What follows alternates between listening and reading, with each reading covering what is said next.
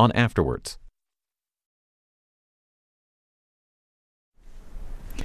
And now a hearing on financial scams targeting senior citizens involving purported sweepstakes winnings, robocalls to maximize the number of potential victims, and so called grandparent scams. The Senate Aging Committee event is just under an hour, 50 minutes.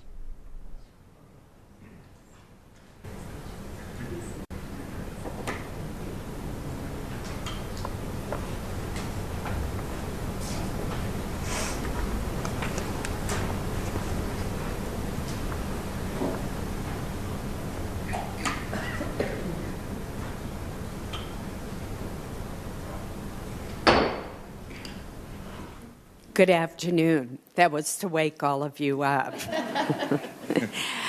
I'm pleased to welcome both new and returning members to the committee, and I'm delighted that my good friend, Senator Casey, will be serving as the committee's new ranking member during this Congress. I want to specifically welcome Senator Catherine Cortez Masto. Uh, from the great state of Nevada uh, to the committee. We look forward to having you join our work. And of course, it's wonderful to welcome back Senator Gillibrand, who's been so committed to this issue, the issues that we have explored as well.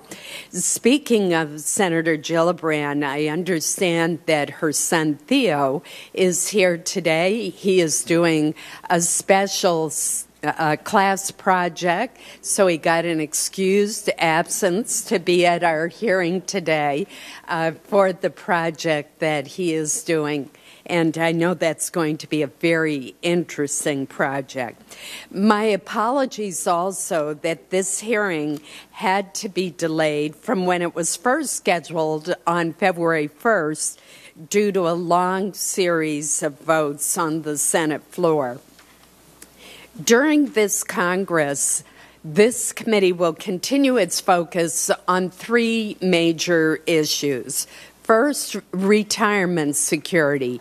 We want to make sure that our seniors have sufficient resources so that they don't outlive their savings or find that their golden years end in poverty.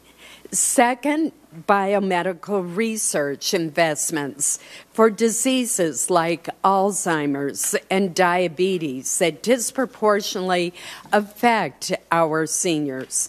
And third, financial schemes and other scams targeting older Americans, and that is the subject of today's hearing. Last summer, an 81 year old constituent came into my office in Portland, Maine, with an alarming story of deception and cruelty.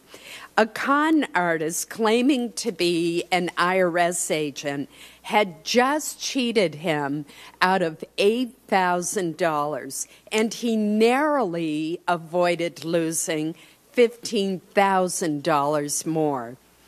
After reporting the crime to the local police, my constituent, Philip Hatch, and his son came into my office. My staff gave him a copy of the fraud book that this committee produced last year, as well as a special postcard that we created with tips on how to avoid scams. Mr. Hatch told us that the tactics described in the materials provided were exactly those that were used by the scammer. If only he had received that information sooner, he might have recognized the scam and avoided losing his uh, hard earned savings. Mr. Hatch was very willing to testify today and to share his story, but health issues prevent him from traveling. Instead, he graciously and courageously provided a video in order to share his experience. And we'll see that video in a moment. This episode demonstrates two important points. First, the criminals who prey on our seniors are relentless. They will harass seniors over and over again until they have drained every penny from their life savings. Second, this committee's longstanding dedication to fighting fraud against seniors is raising awareness and prompting enforcement actions that are making a real difference. We must redouble our efforts to educate seniors, their families, and their caregivers. The stakes are extremely high. According to the Government Accountability Office, America's seniors lose a staggering $2.9 billion each year to an ever growing array of financial exploitation schemes and scams. Today's hearing coincides with the release of our committee's 2017 fraud book. Like the book that we published last year, it lists the top 10 scams being perpetrated against seniors, along with information on how to recognize, avoid, and report them. In both years, the IRS impersonation scam was the leading offender. These lists reflect the calls made to our committee's toll free hotline. In 2015, hotline staff fielded more than 1,100 calls. L- last year, the hotline's call volume doubled to more than 2,200 calls. It's clear that our efforts are raising public awareness, and more important, our efforts are producing real results. I look forward this morning to the testimony of the Treasury Inspector General's office on recent evolutions in the IRS imposter scam, such as the demand for payment in iTunes gift cards to which Mr. Hatch and many others have fallen victim. Raising awareness about the IRS scam is particularly timely as we are in the midst of tax filing season. Last May, thanks to the work of our hotline investigators, the IG arrested five individuals in connection with the IRS imposter scam. Federal authorities believe that these suspects stole almost $3 million from more than 1,200 victims. In October, 56 individuals and five call centers in India were indicted in another important case. In addition to producing criminal charges, these efforts are making it more difficult for criminals to find victims. I also look forward to hearing from the Federal Trade Commission on other scams that are targeting our seniors, such as those involving grants, counterfeit checks, and romance schemes, which are particularly timely with yesterday being Valentine's Day. As our 2017 fraud book makes clear, while we are certainly making progress, far too many victims are still losing money and often their retirement savings. Law enforcement, consumer advocates, area agencies on aging, AARP, and financial institutions play vital roles, but alert citizens are still our first and best line of defense. I'm proud of our committee's work on this crucial issue to help seniors become more aware and more informed and to put criminals on notice that they will be stopped and brought to justice. I'm now very pleased to turn to our new ranking member, Senator Casey, for his opening statement. Chairman Collins, thank you very much for your leadership and for convening this hearing the first hearing of the Committee on Aging, the Special Committee on Aging, for the 115th Congress to discuss senior scams, as she uh, just outlined. Also, I want to thank her for working with me to address issues impacting older Americans even before the start of this Congress. I would also like to welcome uh, new members of the committee. I know right now we have uh, Senator Cortez Masto here. We're, we're grateful that she's with us. And of course, Senator Gillibrand, uh, who's been with the committee for a number of years. We're grateful for that help, especially on these critically important issues for our families. The Aging Committee has historically been a committee that fosters both collaboration and bipartisanship on issues facing older Americans, and that was again abundantly clear by the voice vote we held off of the Senate floor two weeks ago to approve the uh, committee budget and the committee rules. And uh, I think I was late for that hearing, but I wasn't going to mention somehow that. my voice got recorded. but I want to thank the chairman for that. It's my sincere hope that that will continue, and I'm sure that it will. The future of key programs for older Americans like Medicare, Medicaid, uh, and others are also critically important to the agenda of, of uh, this committee. We have a, a, responsibility, I believe, to protect these vital programs for older Americans. Today we have the opportunity to hear from experts uh, who will give us testimony on the challenging issue of combating fraud and scams, which of course target older Americans and affect uh, older Americans as well as their families. Experts testifying today include Diane Menio from Pennsylvania, the, from a, a, a senior advocacy, advocacy, organization that I've worked with over many years, CARIE, and um, we'll, I'll talk more about Diane in a moment. But I want to thank her and her organization's work for what you've done for years to help uh, those who are potential victims of these kinds of scams. Also pleased to, to have joined Senator Collins in releasing a committee report detailing the top 10 scams targeting our nation's seniors that you saw a moment ago. The report is based upon the experiences of more than 2,200 individuals who contacted the committee's fraud hotline over the past year. It will inform the work of this committee going forward.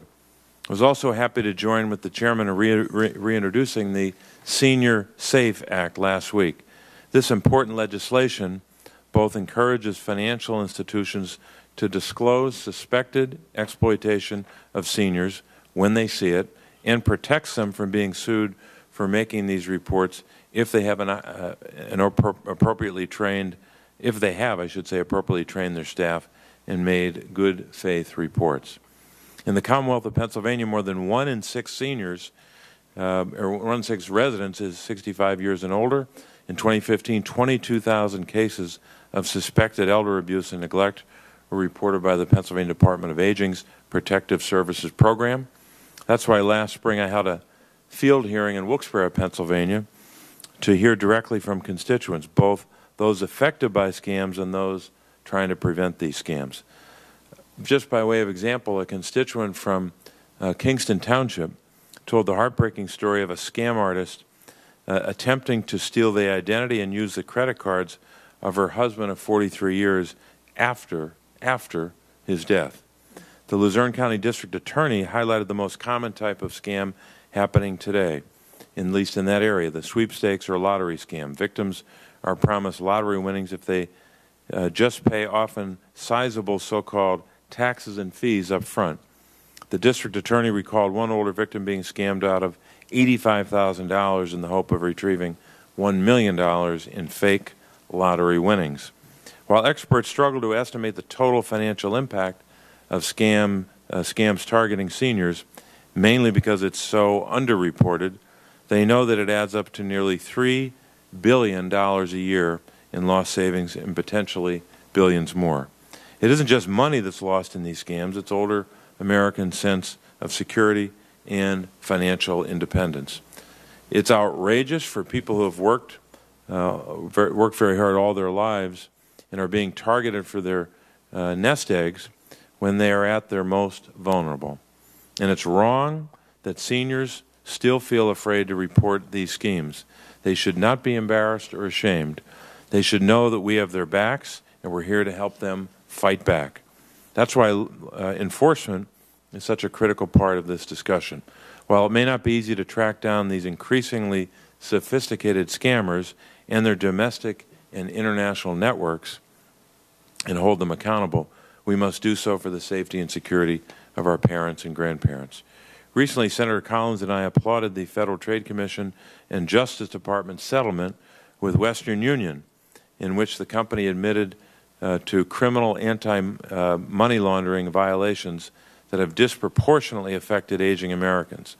This settlement, $586 million in the settlement, will be used to compensate victims of fraud where Western Union agents were complicit in the scams.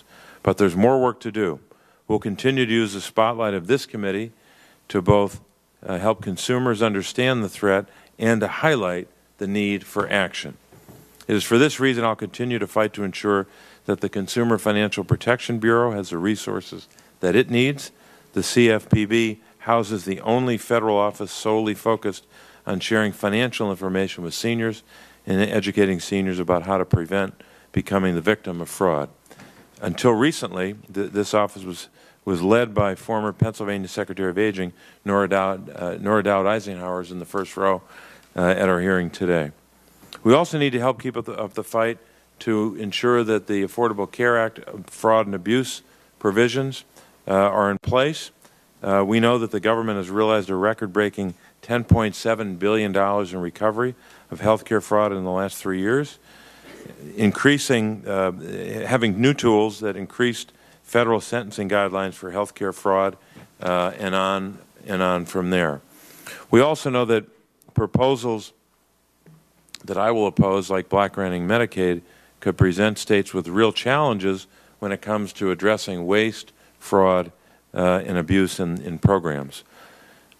Finally, in order to make, uh, in order to continue the good work, I should say, of the, the witnesses here today, as as well as others, and to support our colleagues at the uh, in, in, other parts of the government, Social Security Administration, and other departments, in maintaining a skilled workforce, I'm seriously concerned about the impact of the federal hiring freeze and how that will affect middle-class families. So I look forward to hearing from our witnesses, and again want to thank our chairman for gathering us today on this important topic. Thank you very much, Senator Casey. I want to welcome another new member of our committee, Senator Marco Rubio. Uh, Senator Rubio represents the state with the highest percentage of senior uh, citizens I represent the state with the oldest median age. That's because a lot of my seniors go to Florida, eh, though they tend to spend exactly six months and one day there. I'm, I'm not quite sure, but I have a feeling it has to do with taxes. Uh, but it, it is uh, great to have you as a member of the committee. And I want to welcome back Senator Warren, uh, who was here briefly and I'm sure will be returning as well. We'll now turn to our panel of witnesses. First, we're going to view a brief video from Mr. Philip Hatch. He is from Portland, Maine, and he'll share his personal experience dealing with the IRS impersonators that I mentioned in my opening statement. Next, we'll hear from Tim Camus. He is the Deputy Inspector General for Investigations at the U.S. Treasury Department's Office of Inspector General for Tax Administration.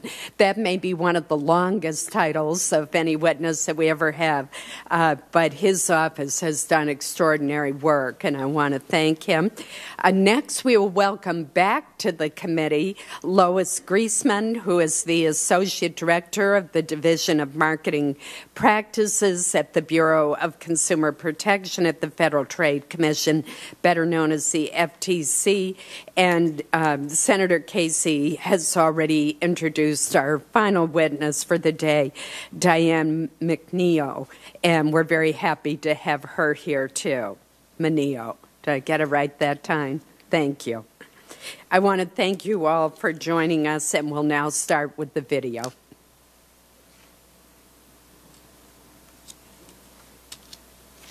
My name is Philip Hatch. Uh, I'm 81 years old and I'm from Portland, Maine, born and raised. I received a telephone call. I answered the phone and the man said he was a representative from the Internal Revenue Service. I said, What can I do to help you? He said, "Well, we've gone through the records, and there's been a mistake here on your on your returns, and you owe us uh, five thousand nine hundred and eighty-eight dollars and some odd cents." So I said, "Fine. Tell me who I make the check out to, and where do I mail it?" He says, "Well, we can't do that. We have a warrant out for your arrest, and the marshals will be in your house within an hour." And I said, Well, what would you like me to do to help resolve this? They said, You can go to CVS and get those iTunes cards, and just when you come back, uh, you can read the numbers off to us. So the other guy said, That doesn't sound like a very professional way to do it. He said, Well, it's either that or the, the marshal's coming, and we and we if we can if we can do this, we can tell them not to come. So I did. I went and got these little iTunes cards, came back read the numbers off them, and and they said, okay, now you can't tell anybody about this. I said, what do you mean I can't tell anybody about this? I'm going to tell my guy that makes up my tax returns. I'm a little mad at him. You know, he said made a mistake. They said, well, no, don't do that. Everything will be taken care of. This started at four in the afternoon and went on till eight o'clock at night. Uh, they called me the next day, and they said there was a mistake. I said, what do you mean a mistake? It wasn't five thousand nine hundred something dollars. It was twenty three thousand dollars. They had somebody call me on the regular phone. I'm still on my cell phone, and say that he was a Portland police officer, and that they had a local warrant for my arrest. So I put my son on the phone, and he goes, "Who's this?" And they said, "Well, who's this?" And he goes, he gave him a phony name and said he was an FBI agent, and they said, "Whoops," and they hung up and that was the end of it. But I had already sent in eight thousand dollars to these people. Being in the military and being working for the government, you know, the government calls up and you say, "Aye, aye, sir. What do you need? Can I help you?" Okay. And maybe if I hadn't had that background, I wouldn't have been so cooperative. But I got, I was mad, upset that I was taken in. Just give me five minutes in a room alone with those people, and I'd be happy. All I can say is just be wary, you know you know, just be careful. And uh, when it comes to someone going after your money, uh, just say, listen, I'll, I'll think about it over tonight, and you can get back to me tomorrow, and then contact someone and find out. That's the best advice I could do.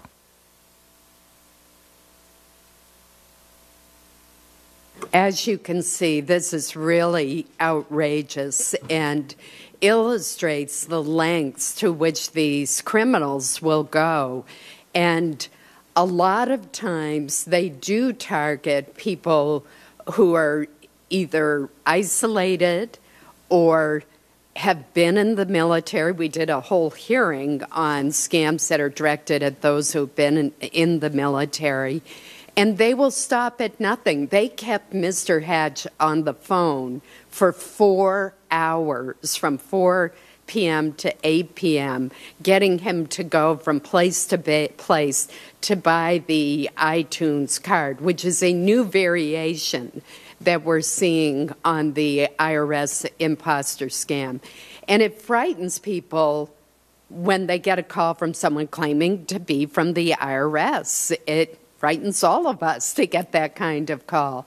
And it's become so sophisticated that these con artists can spoof the number so it looks like if they have caller ID, it'll say U.S. Treasury. So that makes them think that it is for real.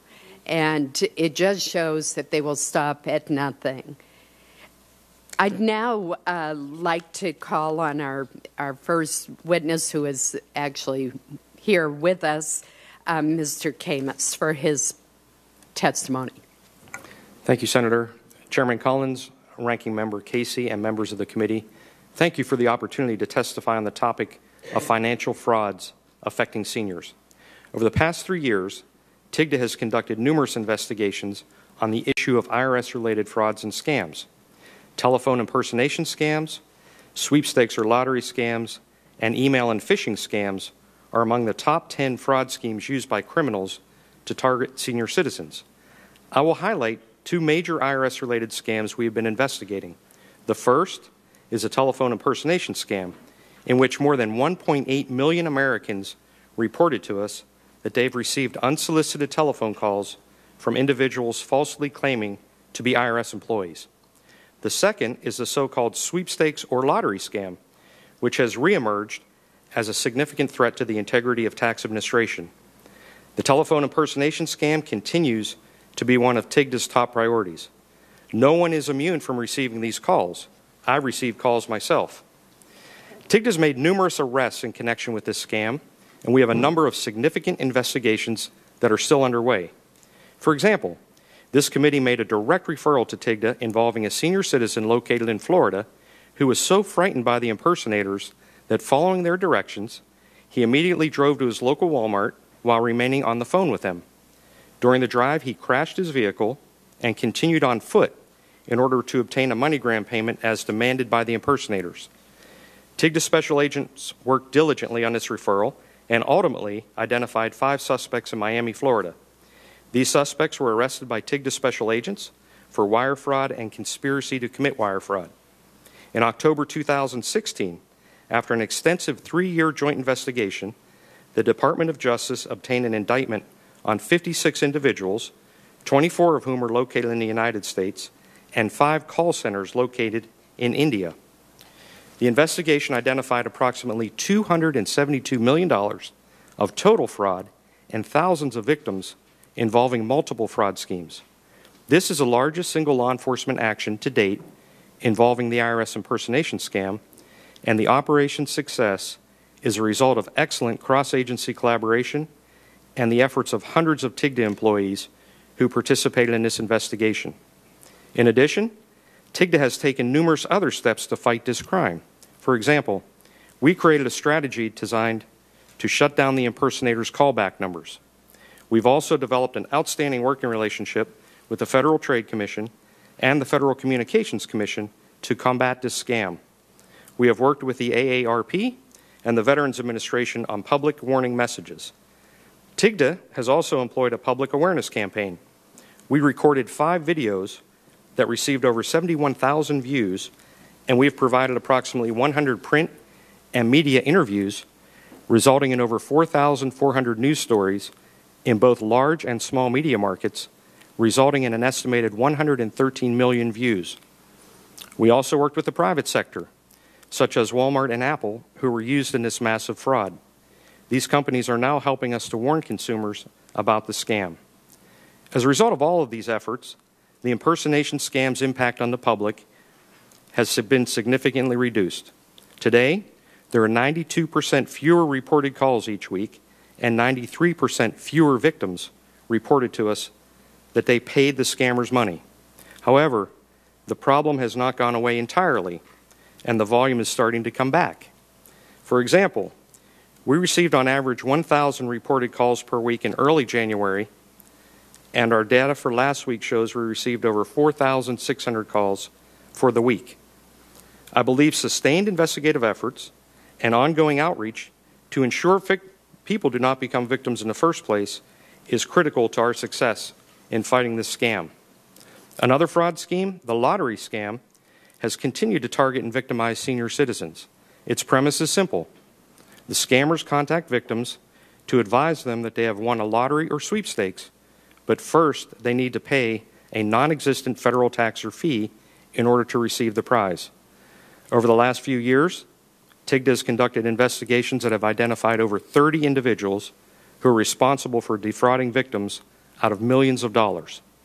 We have obtained some prosecutions, and we're working on others to address this crime. In summary, we at TIGTA take seriously our mandate to protect American taxpayers and the integrity of the Internal Revenue Service. As such, we plan to continuing investigative coverage in this area, and we look forward to our continued collaboration and discussions on ways we can fight these types of frauds and scams in the future. Chairman Collins, Ranking Member Casey, and members of the committee, thank you so much for your support and for the opportunity to share my views. Thank you. Thank you, Chairman Collins. Thank you, Chairman Collins, Ranking Member Casey, and members of the committee. I am very happy to appear before you again to discuss the FTC's broad efforts to protect seniors against frauds, which is a critical part of its consumer protection mission. These efforts are driven through the FTC's law enforcement work, its coordination with U.S. and international partners, and with a tremendous emphasis, its education and outreach initiatives. First, just a quick overview. As you know, the population of older Americans is growing rapidly. By 2013, more than one fifth of U.S. residents will be over age 65. Now, throughout our law enforcement work, we train a deliberate eye on whether fraudsters are targeting specific consumer populations, and in particular, whether they're targeting seniors. We do see that certain types of fraud, such as Medicare imposter scams, deceptive pitches for medical alert devices, brain training programs to treat cognitive uh, impairments, such as Alzheimer's, or supplements to address or eliminate joint pain, all may well be directed specifically to seniors. In other areas, such as the technical support scam, where scammers impersonate, for example, Dell or Microsoft, and lead you to believe that your computer is in dire straits and that only they have the remedy to fix it, we do think seniors may be disproportionately impacted. And with TIGTA, and as Deputy Inspector Camus has just indicated, we have strong partners in our work, and, and particularly on the, in, in combating the IRS imposter scam. But as a practical matter, scammers care little about their victims' age. As a result, we see seniors impacted across the entire spectrum of our consumer protection work, from investment and business opportunity frauds to bogus healthcare products to timeshare resales frauds. I want to take a moment to highlight, uh, as, as Ranking Member Casey referred to, the recent $586 million settlement with Western Union, a good many iterations of fraud flowed through Western Union's money transfer system, but we know, based on, on the investigation, that lottery scams, so called emergency scams, such as the grandparent scam, and the online dating or romance scams were well represented among the complaints the company received, and we know that these types of scams often target and impact older consumers. In addition to the more than half billion dollar settlement, the FTC's order requires Western Union to impl implement a comprehensive anti fraud program that, among other things, will require suspension or termination of problematic agents under certain requirements. And as you mentioned, the Department of Justice entered into a deferred prosecution uh, agreement with the company at the same time. Not only has the FTC proceeded against money transfers, this morning we announced a settlement with a Florida man and his company that allegedly helped telemarketers in India dupe consumers in the U.S. into paying hundreds or even thousands of dollars for taxes they did not owe. These telemarketers often, as we heard from Mr. Hatch, often pretended to be from the IRS or, or in this case from another government agency that had grant money to dole out, and told consumers to pay via MoneyGram or Western Union. The defendants uh, with whom we settled were the U.S. based entities that orchestrated having runners literally driving up and down the Florida coast to various retail stores to collect the money transfers before consumers realized they'd been scammed and could take some action. And as you know, Law, FTC law enforcement regularly collaborates with our partners here, state and federal, as well as internationally. And for these purposes, I want to simply note that we and our colleagues have spent considerable time working with law enforcement and other stakeholders here and in India to curb illegal telemarketing hitting the U.S. Finally, we continue to improve upon and build out our Pass It On education effort. I'm sure you're familiar with this. We've shown it, shared it with you many times. Um, it's aimed at active adults, and this is our signature initiative. It reaches seniors in social, social clubs, libraries, senior centers, veterans facilities. And we recently added a new video about how an imposter scam harmed a retired teacher. We, post, we also recently posted another new video about the Pass It On campaign itself, highlighting how important it is for for an older consumer to be the one who helps friends and families to avoid being excuse me to avoid being victimized. We continue to use these resources and to promote them with our state and federal partners. In sum, through aggressive law enforcement, strategic policy initiatives, and innovative consumer education, we will continue to tackle scammers that exploit older consumers. I look forward to your questions. Thank you. Thank you very much. Ms. Menio. Good afternoon. Um, My name is Diane Menio, and I'm the executive director of the Center for Advocacy for the Rights and Interests of the Elderly. I just thought I'd say the full name Thank so that you. you'd know why we have a girl's name for a name. So, um, thank you, Senator Casey, uh, Chairwoman Com- Collins, and members of the committee for your interest in financial exploitation, fraud, and scams against the elderly, and for the opportunity to present testimony today. Two weeks ago, uh, Charlotte Kit- Kittler from Nanticoke, Pennsylvania, a volunteer in our Pennsylvania Senior Medicare Patrol Program, accompanied me here to the hearing. Uh, unfortunately, she couldn't make it today, but I know she's here in spirit. She was very excited to be in the, at the Senate at all. So she's um, and she works very hard with us. Um, and so I'm today I'm going to talk about healthcare fraud. I'm going to also talk about abuse, scams, and financial exploitation um, targeting the elderly and how CARIE is working to protect seniors across the state of Pennsylvania. Founded in 1977, CARIE is a nonprofit organization dedicated to improving the quality of life for frail older adults.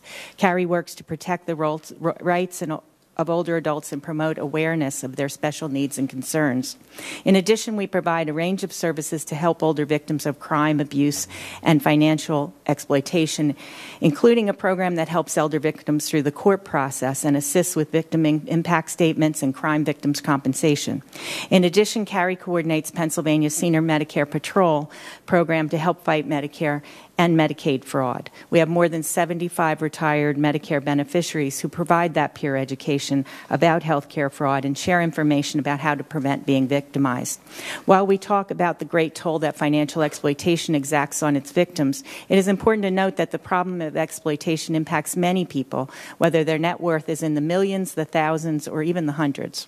Every day, CARIE, CARIE peer volunteers like Charlotte talk to individuals who have been victims of these horrendous crimes and look for solutions to provide guidance to prevent scams from occurring in the first place. Additionally, we send out scam wire alerts that help to identify new threats to the aging community that seek to involve elders in fraud through mailings, email, community meetings, and phone calls. I'd like to f- share just a few stories about cases we hear every day. 71 uh, um, year old Mary from Philadelphia was contacted by an individual representing himself as a spokesman for Publishers Clearinghouse. Mary was told that she had won several hundred thousand dollars but had to pay the taxes on the prize. She initially sent them $200. Then she was contacted again, and they told her that she misunderstood and she needed to send another $2,850 in cash via the United States Postal Service. Mary finally thought better of what she did and filed a police report. She initially admitted to the first mailing, uh, but then after talking to our victim advocate, revealed the second the second um, amount that she sent. And she told us that she was very embarrassed, and that's why she hadn't reported, reported it right away, and that's why she was only willing to talk about the $200 at first because she felt that that wasn't so bad. Um, but, but the extra money made her very embarrassed. So she did, after talking to our, our victim advocate, um, talk to the police about that, that, gave them the information that she was given, the address and the phone number of the person that had called her, but of course, they couldn't find that person anymore. Um, unfortunately, she couldn't get the money back from the Crime Victims um, Assistance Fund um, because there's a time limit involved with that. Um, we just really need to offer some of these people more security and more ability to resist these crimes. Um, Gloria, who was 88 and from Delaware County in Pennsylvania, received a phone call from a person claiming to be her grandson. When she questioned why he didn't sound like himself, she, he said he was in an auto accident and the airbag um, hit his face, and that's why it happened. So she was another person who got scammed out of. Um, it ended up being about seven thousand dollars with the uh, iTunes cards. And a lot of older people they don't even know what that iTunes card's about, but they're tell, told to go and get these. And so this was again one that the two year period had expired. On an encouraging note, Mrs. Smith, who is, is a homebound beneficiary and lives in, in central Pennsylvania, called us to thank us to let us know that she received our scam wire alert in the morning, which was included in her home de- delivered meal package. That same afternoon, she received a phone call from a scammer and wanted us to know that she knew not to give out any personal information because of the alert. It's stories like these that keep us at it every day. Um, we have seen many similar cases. You'll see many more examples in my testimony, and I could even give you more. Uh, the need to prevent financial exploitation is a national imperative. We know that older adults and their families must talk about and plan for the possible incapacity as well. For those showing early signs of dementia, this is particularly important as they may eventually lose all capacity to make decisions. Uh, financial capacity is often the first to go. Um, we do try to work toward positive change. I'm my time's running out, so I'm going to I'm going to conclude here. Um, we are very pleased at the bipartisan attention to elder fraud that the committee is working on, uh, and the Senior Safe Act, which builds on lessons learned from organizations like ours. Thank you again, and we're very pleased to work with you on this issue and are here for anything you need. Thank you. Thank you so much for your testimony, Mr. Camus. You mentioned the direct referral from our committee's hotline to your office that resulted in the arrests of five suspects who uh, allegedly were responsible for almost $3 million in schemes that defrauded more than 1,200 victims. And this truly was an appalling case that we passed on to you. The senior citizen was so upset that he crashed his car on the way to the local Walmart to get the debit card. And he was convinced that he was going to be arrested immediately. So he leaves the scene of the crash and walks the rest of the way to Walmart. We were able to determine that the money was sent and picked up in Minnesota and provided your office with that information, and I really appreciated that you acted on it. Could you please give us an update on that case since the arrest last May? Yes, Senator, I sure I'd be I'd be proud to. We had one one of the subjects has been uh, pled guilty, and he's been sentenced to, to two years in prison, and he's been ordered to pay ninety eight thousand dollars in restitution to multiple victims. The other defendants are are going through the various stages of the legal system right now, but we we anticipate they too will be brought to justice here in the very near future. That's great news to hear. Ms. Greisman, I'm also really pleased to hear the FTC has stepped up its efforts. And you mentioned the agreement or the settlement with Western Union uh, that have been made. And I am interested in whether or not that $586 million is going to end up compensating any of the victims. Were you able to trace the money uh, that had been lost, and will some of the victims be compensated?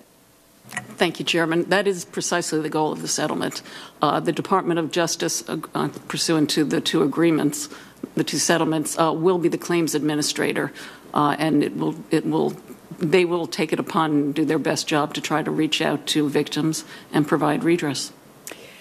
That is so important because in the vast majority of these cases, once the money has been wired, it is gone forever. And it's very difficult to trace. And that's why I really appreciated uh, not only the settlement with Western Union that's going to lead to some restitution, but the quick work of the Inspector General's Office for Tax Administration that really stopped a fraud and in progress. And that's the kind of cooperation we need across government.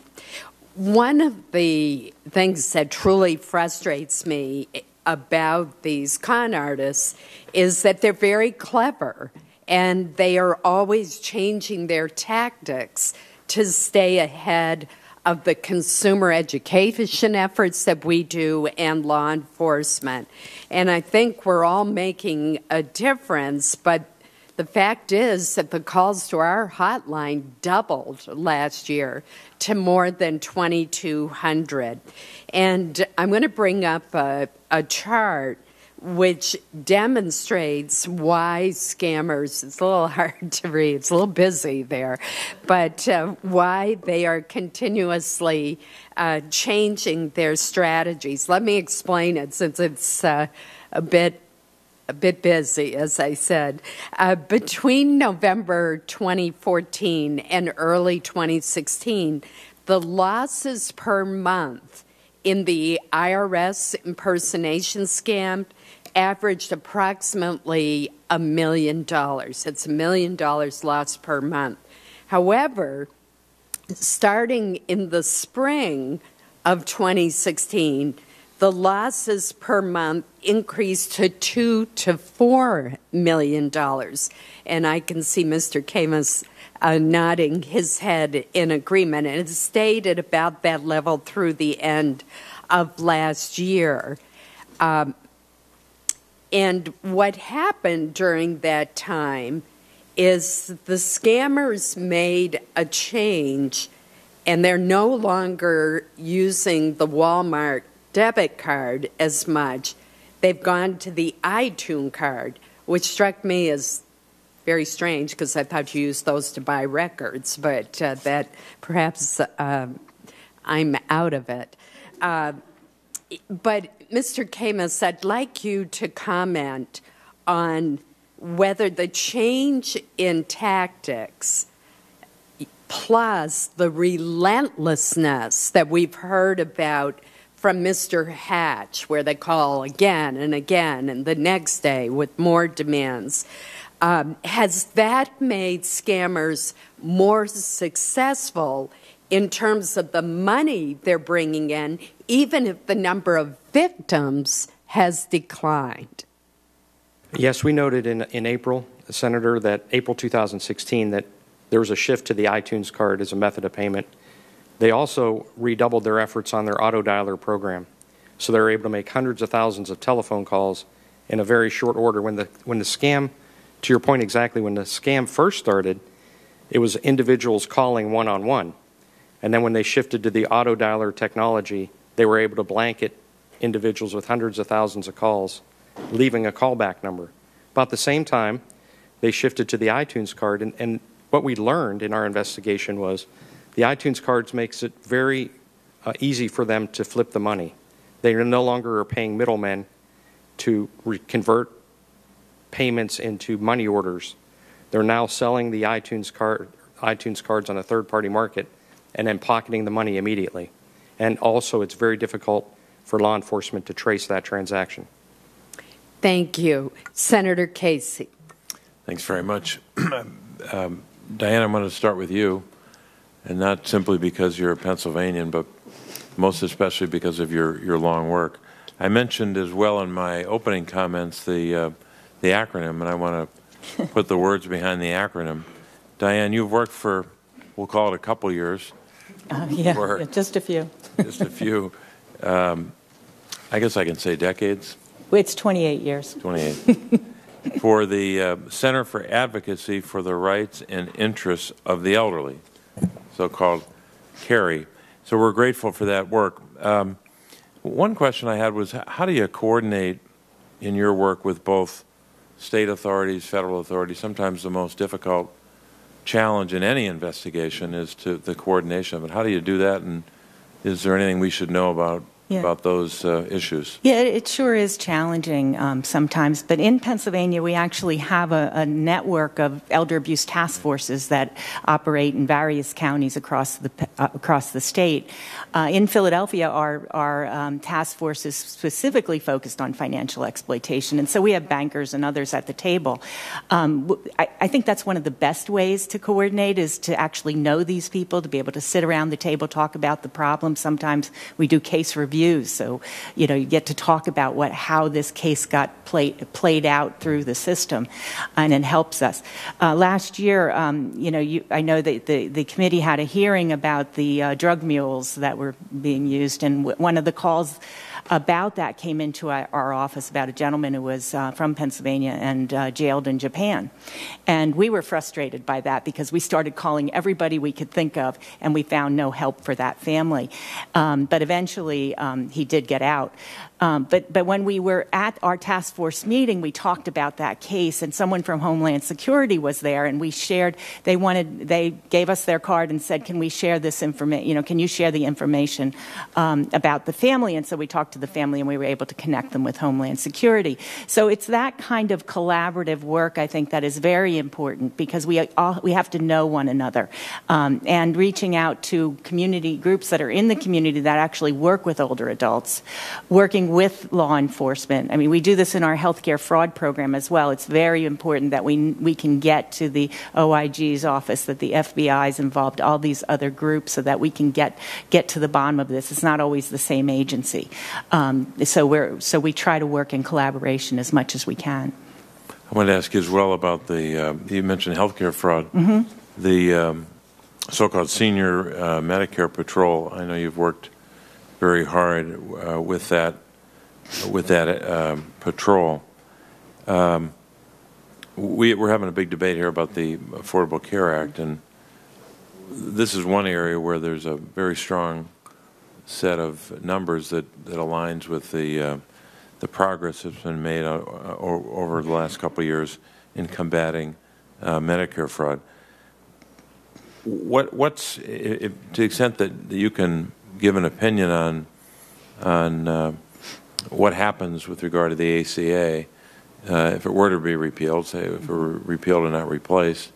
I know that that's uh, a big subject of debate, but just give us your sense of the impact uh, of the uh, Medicare fraud patrol? Well, there, there's a number of issues that I think that have, have impacted um, the healthcare fraud, um, you know, uncovering healthcare fraud, but also just um, Medicare and other provisions as well that we think are very important, looking at nursing homes and, and a n- number of other issues. But one of the things the Affordable Care Act did, and it's sort of related to your last question, is it allowed, um, you know, depart- agencies like CMS, Medicaid, Department of Veterans Affairs, Social Security Administration, and others to data share to help them identify criminals who are defrauding. Sometimes, you know, we'll, we'll get a call. We had a, a lady in Philadelphia who was a uh, podiatrist, uh, and she was, went into Chinatown. She was part of that community. And she started basically getting people's Medicare numbers and billing. Turned out she was billing like hundreds of thousands of dollars, and it actually was in the millions. Uh, and at one point, she was vacationing in Paris when those when those um, bills were submitted. It's really important, you know, because we had a couple complaints from these beneficiaries, uh, and that's probably not going to rise to the level of a major investigation. But once you start looking at the data, you can see what's happening, and so that is extremely criti- critical. So it's important to see because these these criminals are are going across programs. They're similar to the other scammers. They're setting up business where it's oppor- it's opportunistic business. The other thing that um, that I I, um, I think is important is that the, they created it, the Affordable Care Act created a Medicare fraud strike costs about $350 million, and so far it's recovered more than $10 billion. So there's real good economic advantage to doing this work um, because when they do find these scammers, as I said, a lot, lot of them are very large scale. Um, the one I talked about was probably small compared to some of the large scale. I know in, in Florida, for instance, there were these um, groups, these uh, storefronts set up to to basically pay Medicare beneficiaries for their Medicare numbers. And so it made these um, beneficiaries complicit in the fraud. Um, they, certainly didn't understand what was happening. They were getting $10 or $20 or something like that, but they didn't understand what was going on. Um, so, we, so we really need to continue to do this work um, to, um, to make sure that we're combating this stuff. And it just sometimes to us, when we're getting the complaints, and it seems all too easy, and sometimes the solution seems easy too. So we really need to make sure that we're looking at how we can make these systems work. And I think the more um, this, what was provided for in the Affordable Care Act, has created some results, and we need to continue doing that. I appreciate that. I'm out of time, but we'll come back. Thanks. Okay. Thank you. Senator Rubio. Thank you, Madam Chair. And we, um, I want to continue to build on what you've just mentioned about the storefronts. And it's a topic that a lot of people aren't aware of. What we have in Florida, what we have in South Florida in particular today, is an outrageous crisis of Medicare fraud. And let me describe it. And I say this to you as a Cuban American with both deep regret and sometimes shame about this reality. We have literally 50 to 100 individuals, mostly recent arrivals from Cuba, who arrive into the United States somehow figure out a way to set up a Medicare company. Usually it's a storefront, often just a P.O. box. They then acquire Medicare numbers from a runner, from somebody who works at a hospital, and they begin to bill those Medicare numbers for no services provided. Um, and I'm talking about to the tunes of hundreds of thousands of dollars. I have been flat out told by law enforcement in Florida, and South Florida in particular, that if they don't get greedy and are just willing to steal 200 to $300,000 a month, they're probably not going to get caught. Um, they are stealing in the tunes of millions of dollars. If you look at the list of the top most wanted Medicare fraudsters in America, they are almost entirely from South Florida and almost entirely recent arrivals from the island of Cuba. And when we are about to arrest them, if they know they're coming, they leave to Cuba with millions of dollars. It is an outrage. It is grotesque. It has been extensively covered by the press in South Florida. And people may think that seniors are not victims or just what's used. They are victims. Number one, it's helping to further exacerbate the financial troubles of Medicare. And in many cases, you're absolutely right. Seniors are being told, there's nothing wrong with this, it's legal, just come in. All you got to do is sit down for an interview, give us your Medicare number, and before you know it, it's their account that's being billed for all this amount, and sometimes they get wrapped up in it. So I hope that we'll have a chance to focus on it. We had a chance to discuss it. When I tell people this, they don't believe it can. This is organized crime. In every other sense, it is an organized crime, and they are brazen about it, and they laugh about it because they know they can just leave and, and are protected uh, if they leave the country. My mother is a senior, and this is why I want to ask you this question. She has been the target in the past, and I just recalled this as we were having a conversation. Uh, she, after she suffered a stroke in 2011, is largely uh, home ridden, except she goes to therapy and so forth. She gets a call about uh, taxes she owes, and I know enough about my mom and her finances to know she hasn't made a lot of money ever, but certainly in the last couple years, she's not been employed. She relies almost exclusively on Social Security and small savings. And uh, so we get this number, and we try to. We didn't try, even even though I am in this position of public service. I, first of all, I didn't even know who to call about it at the time. Even number two, it's a caller ID, so there's nothing I can do about it. But even if I had been able to lure them into an extensive conversation, I'm not sure if I should have gone to local government, the FBI. The, the, there was a little bit of confusion about who who to take it to. That's number one. The second is her caregiver. She has people that come during the day and watch her a little bit, some, you know, sometimes make sure she's taking her meds, are often the people answering it. So we have to figure out a way to educate them as well. And the third, quite frankly, especially in Florida for a lot of seniors, is a language barrier. My mother speaks English, but her first language was Spanish. That's where she watches the soap operas every night. That, uh, which I don't fully understand these soap operas and why they're so popular, but she watches them and uh, on, on the Spanish language networks. And a lot of the people that are being targeted for this are also being targeted because of the language barrier. So I guess in all of that is embedded the following questions What can we do to improve the awareness of caregivers who might be the people answering the phones when these calls are coming?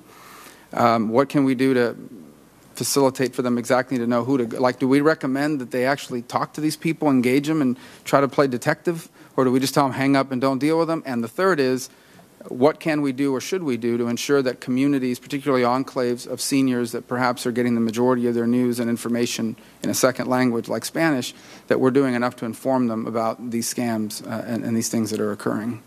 Yeah, I, I, think that the public education is critical. I do think that another issue you might be interested in, the future is looking at why people become subject to scams. Um, and, you know, we talk about people with dementia, but there's also an issue around financial capacity for at which someone may be able to function very very well in their in their life, but their their ability to manage finances goes down. And we're talking. One of the reasons older adults are are targeted so often is because they're the ones who, who are at home and answer the phone, uh, and they might be lonely. And these guys, not only do they come up with the latest best scams, but they also know how to engage people and become their friends. So it's very challenging. I, I say that because it's very challenging um, even when we're doing the education to get people to pull back from this. Um, when you talk about the caregivers, um, the caregivers certainly should be educated about this as well, uh, because they're they're on the front lines and they will see this happening. Um, I, I will, though, caution that sometimes we do see caregivers being the exploiters as well. So it's really important for families to be vigilant, vigilant about this. Uh, we certainly also deal with people with limited English as well. Um, I mean, one time we did a, um, a presentation in Chinatown, and I think it was simultaneously. Um, uh, translated into about eight different languages uh, so that people could get that information. So we try to do as much as we can to reach people uh, and to also train gatekeepers in those communities so that they're, you know, if, if it is um, a uh, Spanish speaking community, we can train people in that community to take that message to individuals, those people who are going into the home, for instance, who are working in, in the uh, housing sites. We have housing uh, coordinators who are working with people individually. So that's where, and we've had scam. We had a scam by the uh, somebody telling them they were the cable company and happened in housing, um, senior housing throughout the city. And so we were able through that, and one of them was at a, a, a housing site where most of the people spoke, speak Spanish. And that's where we actually were able to tackle the problem because they got it. And I know I'm out of town. Just a suggestion that we would may we may want to talk to the two primary Spanish language networks about mm-hmm. public service announcements. They have that as part of their FCC license, and I think it would be really useful, especially mm-hmm. for the programming that is geared yeah. towards older audience. And we have been able to get those on our Spanish, our local Spanish oh, language good. stations. Thank you very much, Senator Rubio. As you were talking, I was thinking that we should get this postcard uh, translated into Spanish as well so that Constitu- you want me to do it? I'll do it. I can translate. I even know how to do the accents on them. I have no doubt of that. But that, no, we, we can we'll put call you Susanna. as you want. but uh, and I love the idea of including it with Meals on Wheels because that would reach a lot of homebound seniors. Mm. So that's something we can look at also. Uh, Senator Gillibrand. Thank you, Madam Chairwoman, uh, and thank you, Mr. Ranking Member. This is such a vital hearing, and it's you know I've traveled around New York State asking community centers and senior centers, you know, have you been affected? And overwhelmingly, almost every hand in the room is raised because someone has gotten the IRS scam, someone has gotten the uh, grandparent scam, somebody has gotten the uh, sweepstakes scam, and it's heartbreaking. And some of these seniors have lost tens of thousands of dollars and there's no protection for them. So I, I've, I have three sets of questions. First, um, what should we do as the Senate uh, committee to all of you have said, yes, there must be public education. How must there be public education? What legislation should we write about how to educate all seniors about these scams? Specifically, how do we reach all seniors in this country? N- number two, every one of these scams has public uh, participation on some level. The CVS counter that sells the iTunes card, the Target that the, sells the iTunes card, the uh, credit union, the bank. The, thank goodness, one New York woman she went to her bank to take out five thousand dollars to pay the IRS uh, scam, and someone's sitting outside waiting for her to bring the money. And the teller so smartly says, Ma'am, you look so nervous. Are you okay? And she's like, No, I've got the IRS on the phone and I have to give them the money right now. The woman was smart enough to say, Give me the phone, hung it up, said that the IRS will never call you. Should we not be, be having conversations directly with any place you can purchase an iTunes card? Shouldn't there be a, a, notice that's on every cash register? If someone buys an iTunes card, please confirm it's to purchase an iTunes card for music that it's or for a video game. It's not to give to the IRS. Like, why aren't we posting at every vendor that sells iTunes? Every bank, every teller should be trained on this. I don't think we're doing enough to prevent these horrible crimes from happening. And all of you said these are significant criminal networks. I've heard some are run by the Russian mob, for God's sakes. Like, if we knew massive criminal networks were targeting our seniors, our families, I would think we'd be doing much more than we're doing. But for some reason, we are not taking this as serious as, as we should do. These are, oh, these seniors are being duped, the money's gone. Well, if we had some huge mob cartel you know, bringing drugs into this country, we'd have federal action. We'd be sending money to address it. And I don't feel like we're doing that. And the, the, the, the degree of the scam is much bigger than we've even disclosed. We only have what's been reported, but we know 40% isn't even reported because it's so embarrassing. This happened to my aunt. She got the IRS scam. She sent the money. She never told my mother, who does all her finances. She was so embarrassed. So we're not even getting the full report. So from each of you, I would like to know what you recommend to us to prevent this from warning uh, various parties that are involved in these scams unwittingly the people who sell the iTunes cards, the banks. I have a senior who went to her bank and took out a advance.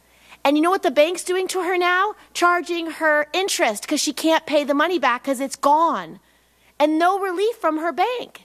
So this is a problem. So from each of you, direct recommendations for us.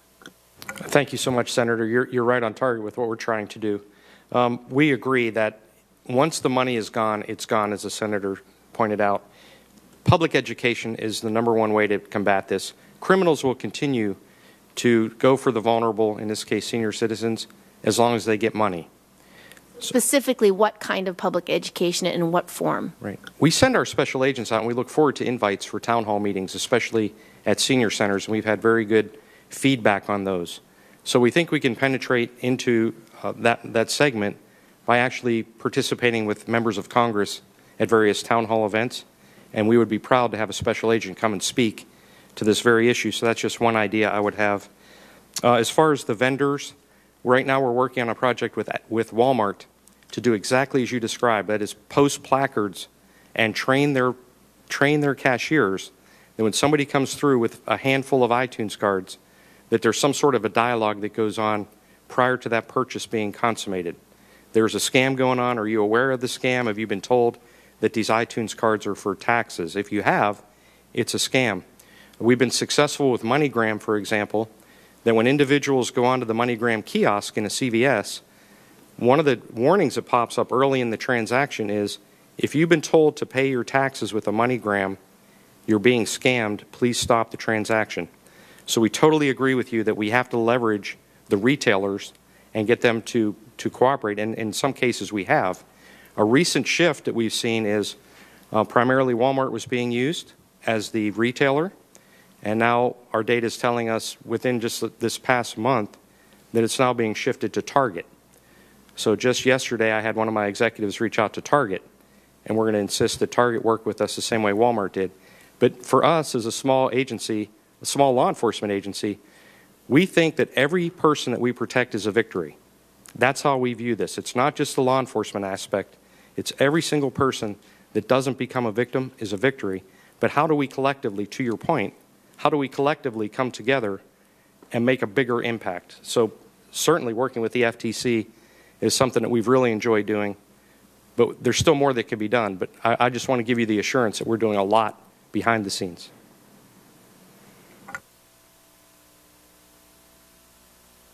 Thank you. I appreciate the opportunity to address the points you raise. It's very serious, and I, and I, I don't want to under have you think in any way that this is not a top priority for the Federal Trade Commission. In terms of prevention, I would urge each of you, if you don't already use our Pass It On materials, put them up again. Uh, these are tested. This is, we think, a very effective way to reach seniors where they are and to provide them with the tools they need so that they are the ones positioned to assist friends and family members not to be victimized. There's a specific piece on, on IRS imposter scams. The intermediaries, there are two things we do. One, we sue them.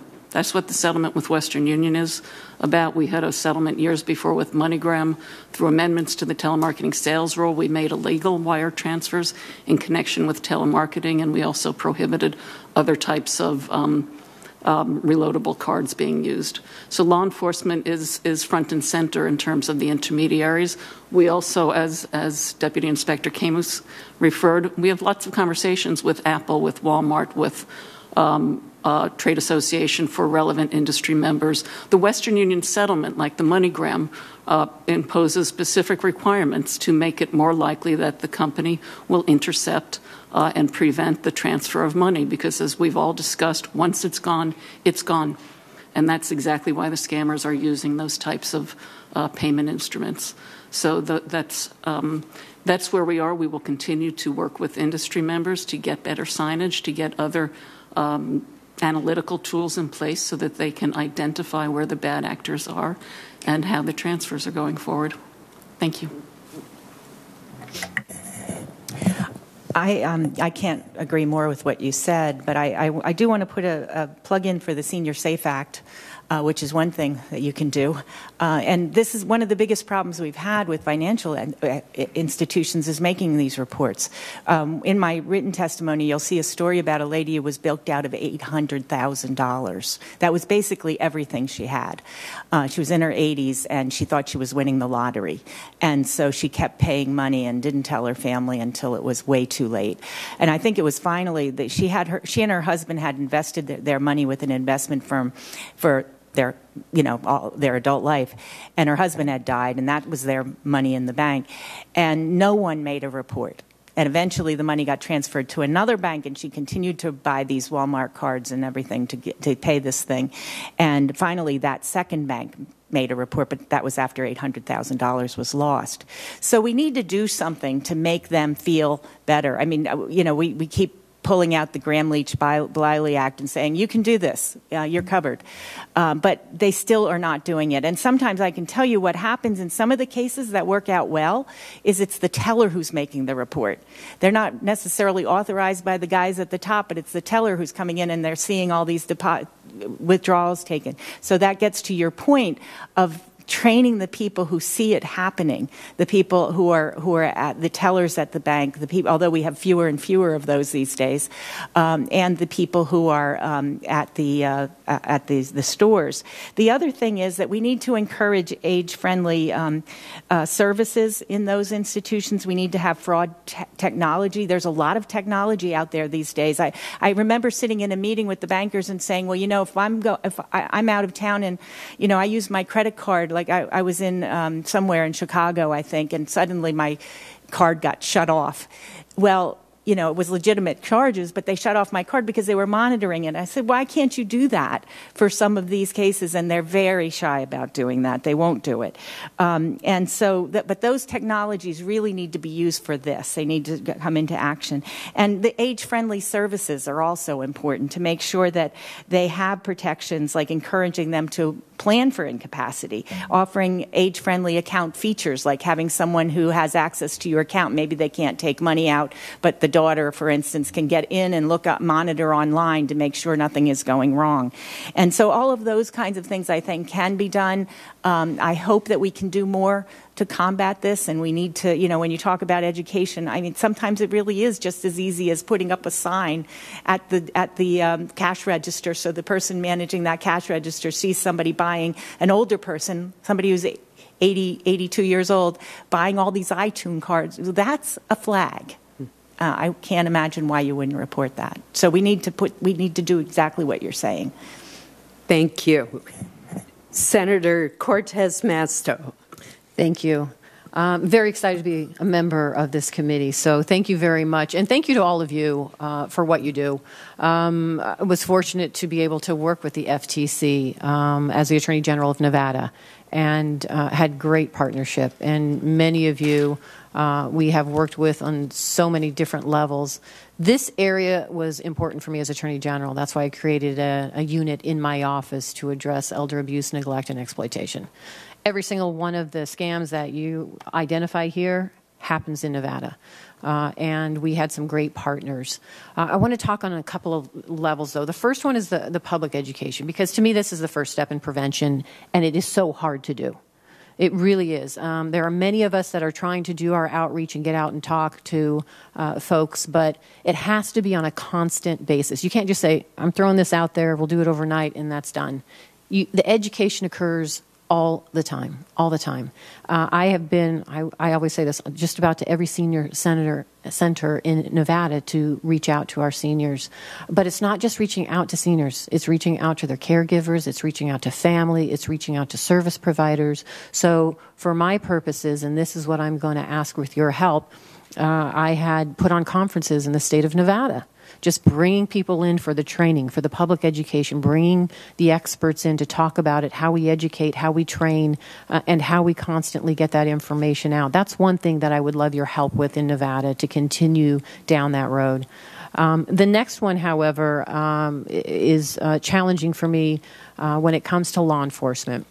And this is a question I have um, for our law enforcement folks. Giving the aging population in Nevada, it is growing. Um, but also, we are constantly evolving with technology and technological scams. Um, what additional resources or innovations does law enforcement need to keep up with the financial threats posed to seniors now? And, and when you talk about it, talk also about uh, how we examine uh, also the money transfer systems, which make it much easier for some of these criminal element to engage and scam our seniors. Well, just a couple ideas. Thank you, Senator. Uh, and we do look forward to working with you in Nevada. One of the ideas you could come up with would be uh, there's a 72 hour right of rescission on large transactions. So maybe uh, it could be considered that on any wired transaction, instead of it being rapid and instantaneous, there's some sort of a, a 72 hour right of rescission because many of the victims that we spoke to, they realized it, but just a little bit too late. By the time they realized or talked to a family member about being scammed, the money was already gone and there's no, no way to get right. it back. But if we could get that frozen for just a period of time to allow a recognition, a family discussion, or law enforcement to intercede, we might be able to save people a lot of money and save their lives, actually. But as far as the, um, some of the other ideas, um, the challenge for law enforcement is the money moves so quickly, and the ability to convince somebody to put their federal income tax payment on an iTunes card, that, that is really difficult. As I said in my testimony, we estimate that just through media on our own as a small agency, we believe that we, we had 113 million views over 100 media interviews, and it's constant with us. Uh, we had Apple agree to fund a pilot program where, over the air in a CVS stores and, and other drugstores, the, the message over the air as they were shopping were do not use Apple iTunes cards to pay public debt. Do not use Apple iTunes cards to pay government. It doesn't work that way. Mm-hmm. And we think that that worked, but it's very, very expensive. That, that project cost Apple, I believe, $140,000 to fund that, but it was a pilot.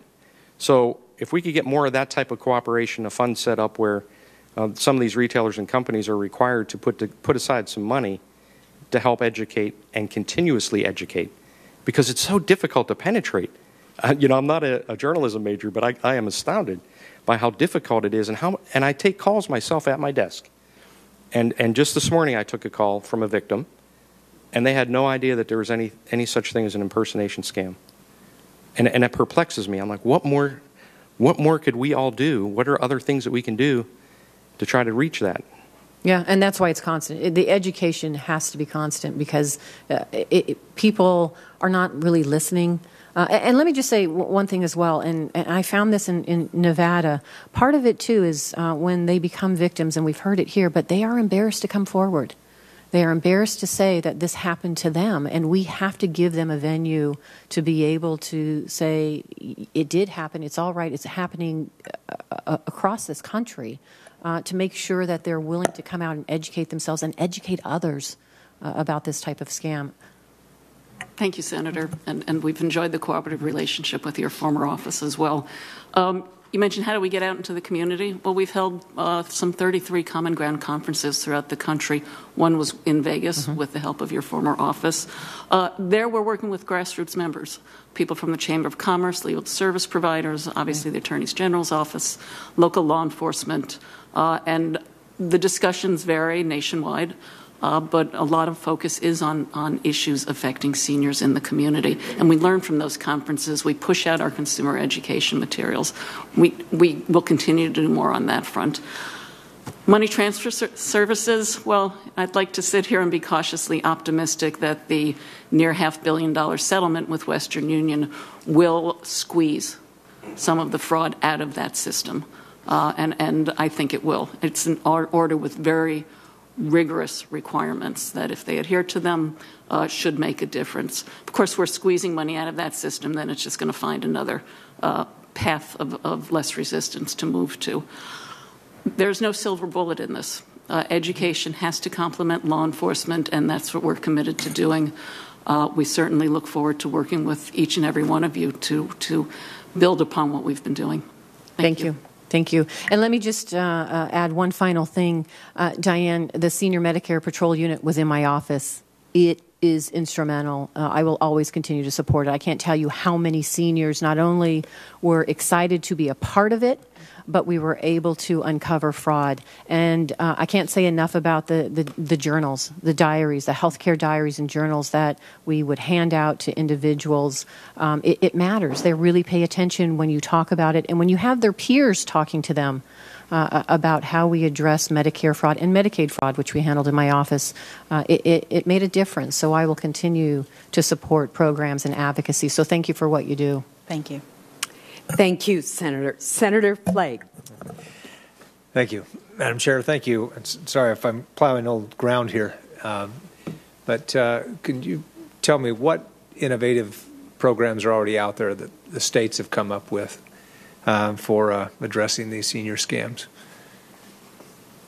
Anybody who wants to start there?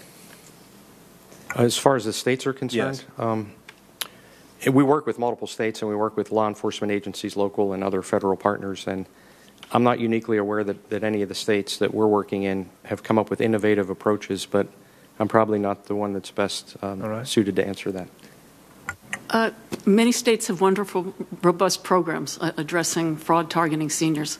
Uh, Many have discrete offices uh, that that directly focus on that, uh, and to the extent possible, we work closely with them. We, I'd mentioned earlier, our pass-it-on materials. We freely distribute those to the states. We urge everyone to to put their own name on it. We have no uh, copyright interest in it. We just want to pass on those materials so that they can be used. And um, can I just add that um, one of the tools we have at the state level is the Older Adult Protective Services uh, Office, which often gets the first report on these cases. And I just want to say that one of our recommendations is to make sure that those programs are strong enough to do what they need to do. Um, one of the things that they often lack is forensic accountants, for instance, to be able to actually take on a case and figure out what's happening. So we need more resources in that program. And at the same time, we're aware that the social services block grant uh, funding is is is under you know is is under question at this point. And that's the money that often supports those programs at the state level. So we need to you know while we need to enhance the funding for those programs we need to at least um, maintain the funding for those programs because they're often the first line. Um, when senator rubio asked who to report to my I, I didn't answer his question but what i meant to say was just report it. It doesn't really matter because when you report it to one place it'll get to the right place eventually.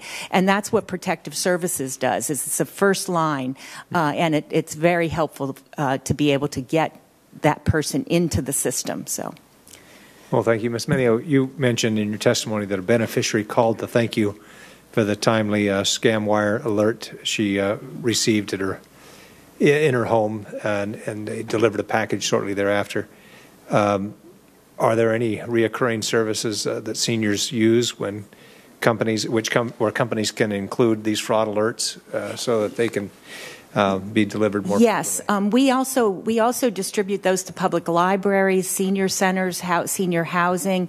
Uh, we distribute them to a large number of places where we know people, grocery stores, places where people uh, gather, uh, where older people uh, do business. And the, the, the home delivered meals um, uh, project that we do is really focused on people that we won't reach by going to the library or, or senior center or uh, those kinds of places. It's the people who are homebound and don't get out and wouldn't get that message otherwise. But we are trying to do that through many different public venues. All right. Thank you, Madam Chair. Thank you, Senator Flake. Uh, before you were here, Ms. Menio mentioned uh, the Senior Safe Act, which you were a co-sponsor of in the last Congress, in which uh, we've reintroduced Senator Casey as a co-sponsor. And just yesterday, AARP has endorsed that bill along with we have endorsements from Legal Services for the Elderly, the National American Securities Administrators Association, the Conference on State Bank Supervisors, uh, the National Association of Insurance Commissioners, and a wide variety of regulatory groups. And that is one concrete action we could take in this Congress that would really make a difference in empowering those frontline tellers that our witnesses were describing and uh, who can make a real difference in stopping fraud right up front. So I'm going to ask unanimous consent that all of those endorsement letters be entered into the record. Senator Warren. Uh, Thank you very much, Madam Chairman. Thank you very much for holding this hearing, you and the ranking member. And I want to just follow up. I think your point about how better to empower people on the front lines is really important. I just want to look at another aspect of that.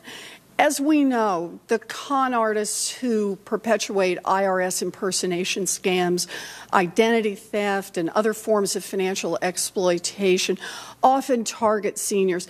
And when a senior needs to report that they were the victim of fraud, it is frequently the men and women who work in our government enforcement and consumer protection agencies in Washington and in all 50 states who are on the front lines taking their calls and investigating their cases. So it seems pretty obvious to me that one easy way to protect America's seniors from, from fraud is to strengthen that workforce. But instead of staffing up the workforce that cracks down on scammers and fraudsters that hurt our seniors, on his first full day in the Oval Office, President Trump issued an executive order freezing federal hiring and starving our enforcement agencies of their most important resource, American workers. So, Mr. Camus, you are Deputy Inspector General for the investigations at the Treasury Inspector General for Tax Administration. Your job is to protect seniors against scammers who pretend that the IRS is calling uh, and trying to collect back taxes. Almost 2 million people have reported this scam to your office, and these scams have cost Americans more than $54 million. It's a lot of money. Does a hiring freeze help you achieve your goal of protecting seniors from fraud? Uh, as you as you point out, Senator, these are it's a huge issue, and it, and every one of these victims is a significant um, challenge on our resources. So naturally, I've been told I'm not allowed to pander for resources at these okay. events. But we'll let you know if you've, if you've crossed the line into, into pandering here. I can tell you I'm very proud and we're a very efficient agency, but um, certainly this, this has stretched our agency very thin. We are seeking the exemption in the President's order to, um, to under a public safety clause, for, at least for the special agent portion of our workforce.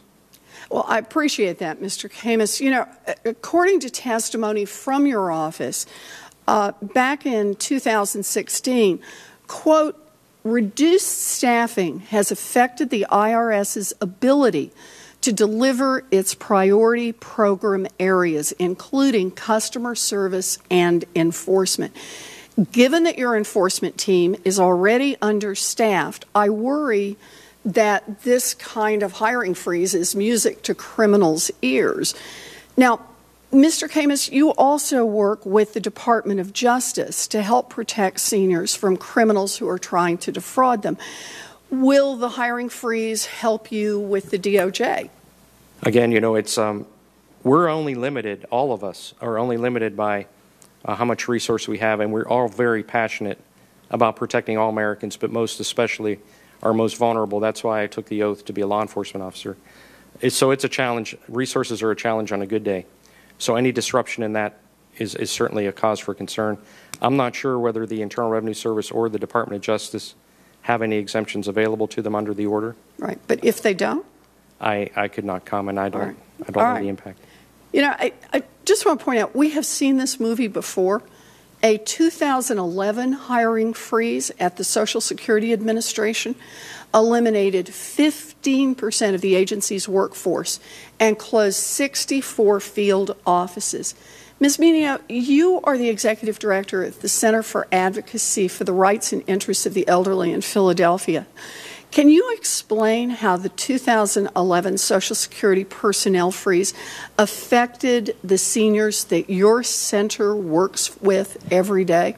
Well, certainly it, it, it, it, takes a lot longer to make an appointment. So, increased um, wait times. I can um, tell you that we're, you know, interestingly, the Social Security, I'm in downtown Philadelphia, and the Social Security office is in our building. They have the top floor. And uh, the way that it's, it, it works is no one goes upstairs until the guard lets them go upstairs. So they get the message you can send more people up. And that line gets quite long. And people are standing there with their walkers and their canes and waiting to go upstairs. And so that's something I see every day. Um, I can also tell you that my staff spends a lot of time when they're helping consumers doing three way calls because we're not, you know, we, we like to empower people and work with them, but sometimes it's difficult for them to make that call on their own. So we'll sit with them, and, it, and they tell me it's 30, to, 30 minutes to an hour sometimes they're waiting for that call to get through. We had a client who called us recently from the western part of the state who um, her husband died and she was collecting, she wanted to switch her Social Security so she could collect on his account. I believe something like that. And what happened was, the, and the, you know, I think this is illustrative of the short staffing. Is she got lost in the system? She didn't get a check at all for three months, and that meant her Medicare Part D wasn't be, B wasn't being paid, and so she didn't even have her health care during that time. Eventually, we were able to help her get that back, but nevertheless, it was a very stressful time for her. It shouldn't have happened that way. It probably took more man hours from the Social Security office to fix this than it would have taken to help her in the first place. So those are the, some of the kinds of things we're seeing. I also know that the Center on Budget and Policy Priorities put out a report and they said that um, less than 1% of their operating ex- of their expenses are spent on uh, overhead. Uh, I can't run my agency on less than one. I wish I could, to be honest with you, but I can't. Mm-hmm. And so that just isn't realistic. How can you continue to provide the level of services to this aging population, um, to many of us who, who are ready to you know, go into the Social Security system, into Medicare. We need to be able to get that information as quickly as we can and work with people without going through a lot of red tape and spending hours on the phone and in, in offices. And, I appreciate that. You know, I just want to add a couple of statistics if I can, and then I'll quit. Thank you, Madam Chair. You know, appeals time also go up. It's, she's talking about helping people apply, but the appeals time go up. Almost 20,000 people died waiting for a disability eligibility decision in FY 2016. You know, with all of these negative consequences, you would at least hope that these freezes save money. But what the data actually show is that they don't save money, that we have a workforce that is just more stressed, more inefficient. You spend more time trying to fix the problems that are broken because you didn't solve it early on. I just want to say I appreciate the work you're doing, and I hope that we can give you better support to do it. Thank you. Thank you, Madam Chair. Thank you. Senator Tillis. Thank you, Madam Chair. Uh, and thank you all for coming before the committee and, and uh, at least in one case, returning uh, to the committee. Uh, I, have got a, a, more general question here. You know, th- this committee is intended to provide insights into uh, the seniors abuse, caregiver uh, programs, those sorts of things over the course of the last two years that I was on it. Um, and then we've had some discussions about legislative proposals here at the federal level. And we've talked about potential best practices down in the uh, states. Uh, but it, it, doesn't seem to me we've made much progress. Um, so, could you give me uh, and any of your opinions uh, and, and, the capacity before this committee of examples of where I should uh, be kinder uh, in my assessment? And what kind of progress are we making at the state or federal level that you think is really moving the ball substantially in the right direction? And Mr. Camus, we want to start with you. it's um, one of the biggest challenges I have, Senator, is, and, I, and I've been working with staff here, is as we investigate crimes, we learn. We learn how they're doing it, we learn how they're shifting, and as, as Senator Collins pointed out, the criminals are watching every single thing that we do from all over the world, and then they're adapting to what we do. It's literally a cat and mouse game, and they will continue to victimize our most vulnerable citizens because they can get money. So any ideas that, that uh, we have, we're happy to meet with staff and talk about this is how the crime happened. So, legislatively, what are some of the areas that could be explored? One of the things we're excited about is in our investigation um, through the FTC's uh, help, we started working with the Federal Communications Commission. And what we learned was they have task forces under the U.S. Telecom Consortium that are actually working on technology to block robocalls that are coming in spoofed. And in one pilot in the IRS, not political ones, right? No, I'm kidding. in the uh, in the uh, in the robocall area, in in a pilot, they were able to block about two million spoofed calls that were coming in that could have hit the seniors. how many people would have been victimized by those calls? Mm-hmm. And then the other area that we're excited about the technology is the um, there's a traceback task force as well.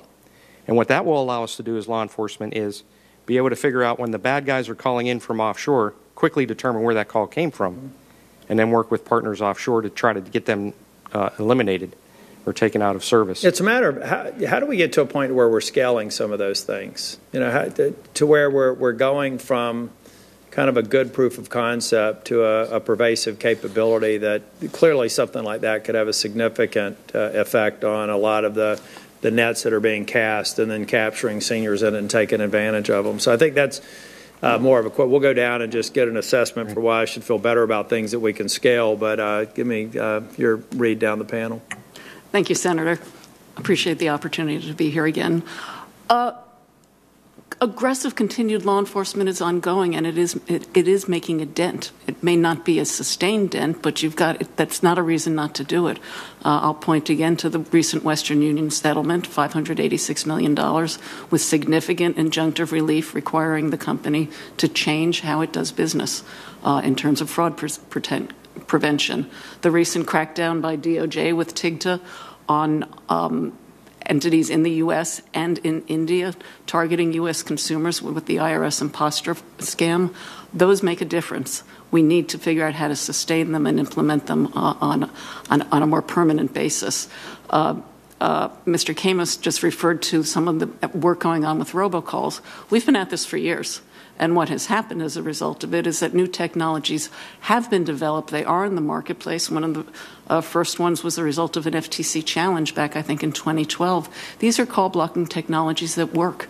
And then there's a great more cooperation and coordination among industry and government to, to bring these technologies to the forefront and also to develop, though it's not going to happen overnight, caller ID authentication that will provide a significant tool, technological change that will prevent some of these calls from hitting consumers. So I, I, I think there's good reason to be optimistic. Well, I wish I had some of their answers for you, but um, we're not on that scale. But I think on a on a very large scale, in a sense, our our senior Medicare patrol is a good example of this work, and it's it's a it's in every state in this country. And I can tell you right now, we're working. Um, we we had some consumers, some beneficiaries, call us about something that we think is a scam. Not totally, we're not sure yet, and I'm not going to say what it is because it's being investigated right now. But what we were able to do is get in, on the phone with people from your state and from, um, I believe, I think, I, am not sure if it's Maine or not, but it's one of the New England states, a number of states with our colleagues who are doing the same work we're doing. And we were finding out that the same scam is, or the same situation is happening in each of those places, which made it a lot easier for us to go to the inspector general with this. And so it's being investigated now. We think it might be a very large scale uh, issue.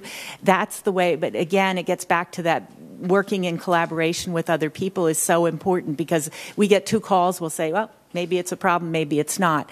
It sounded fishy, so we definitely wanted to look into it further. But with those two calls, nothing was going to happen when we called the OIG. But once we get those our colleagues from other states identifying these problems as well, then that makes a case. And I think something can happen to protect people in the future through that situation. So, well, thank you, and and uh, you know, Madam Chair, I know that uh, the chair has has put together great proposals for programs that have worked their way through uh, Congress and, and authorizing maybe additional initiatives that will be helpful. But it really also points to why we've got to get to a regular order appropriations process so that we then have the, the financial resources behind these programs to scale them and get them implemented. And so that we can come back and start measuring uh, what I think are the results that can come about. A lot of great ideas, a lot of great pilots, a lot of great proofs of concept, a lot of great law enforcement uh, actions that we just got to scale. And, uh, and then we also, if I had more time, I'm way over now.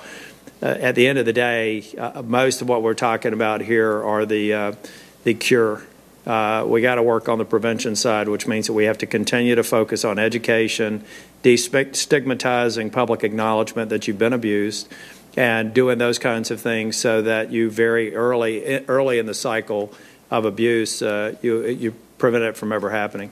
Thank you. Thank you very much, Senator.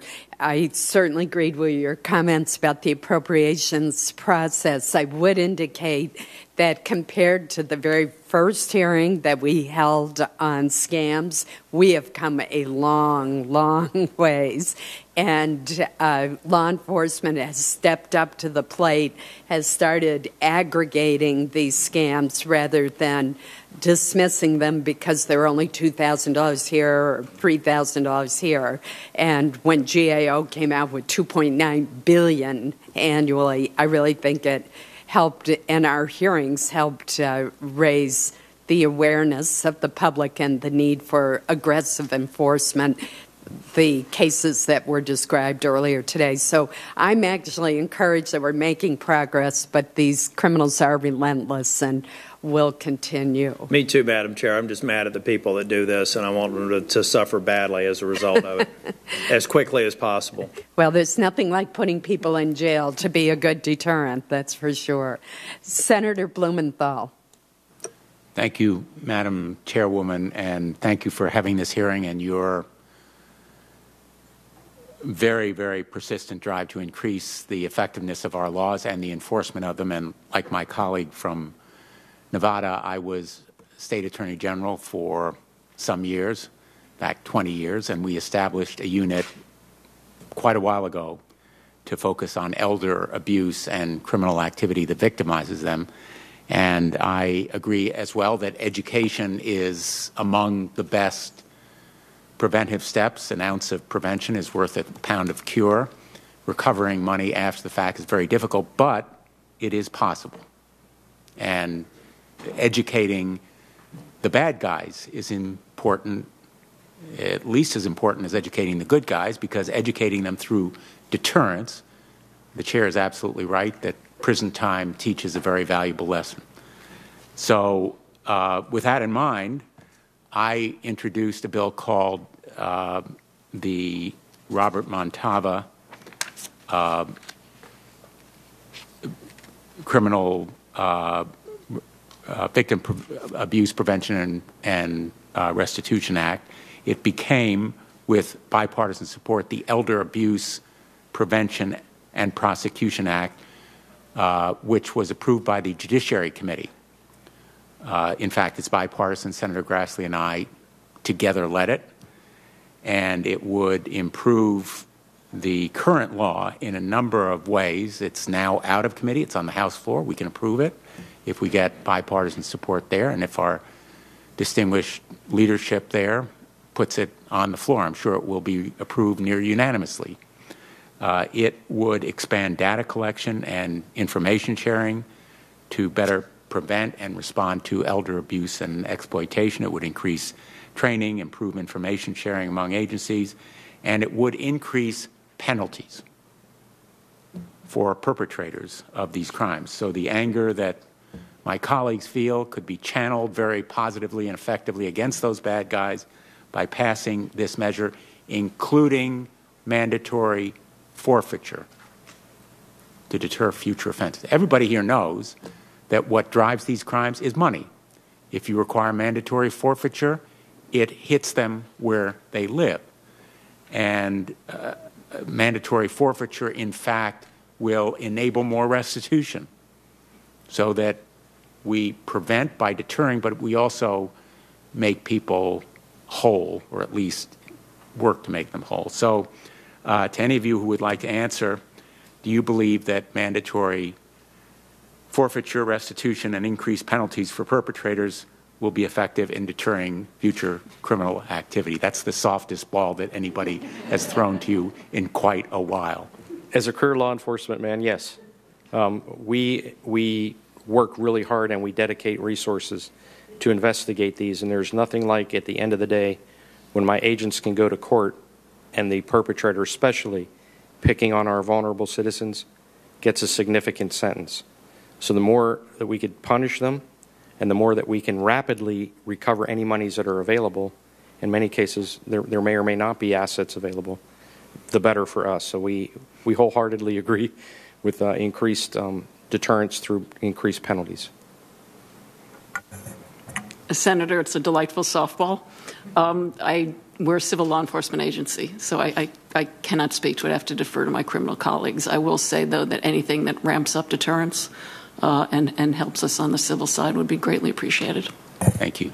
And I'd just like to add that I think one of the reasons that elderly are targeted is that oftentimes they, the, the, the perpetrators feel that they're not going to, and I'm talking more about that homespun uh, type of financial exploitation that happens. They're just think they're going to get away with it because they do. And so one of the things we're we're advocating for in Pennsylvania is enhanced sentencing for people uh, who commit crimes against the elderly. Um, and so I think it, it's very very important because the other issue that we have often with crimes against the elderly is that if someone does have dementia, oftentimes we're finding that the the police aren't arresting um, because that person isn't a good witness in court. They're not not a good reporter. So we've got to get past that as well. Um, and I can tell you of some horrendous crimes that have been committed against people who, without capacity. And if we've got to come up with a system to make sure that there's a reason for people not to do this, that they're going to be a little afraid of, of, of taking advantage of the elderly. So thank you for that. Thank you all for your support and thank you for your great work. Thank you. Thank you. I want to thank all of our witnesses today for your very important contributions, whether it's law enforcement or education or civil actions against uh, those who would rip off some of the most vulnerable citizens in our country, our nation's seniors.